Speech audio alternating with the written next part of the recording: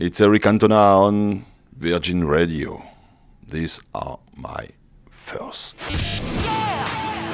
The first trophy I won was champion of my region, which is Provence, one of the best regions in the world, maybe the best region in the world. And it was very, very, very difficult to be champion of this region, and we won it.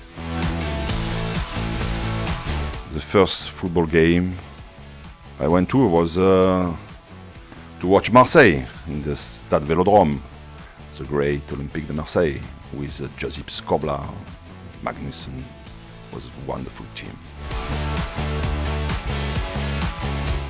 First idol in football was uh, Johan Cruyff. Yeah, inspired me a lot. Ajax, the team he played for in the early 70s, and uh, Holland, the national team, was a great team.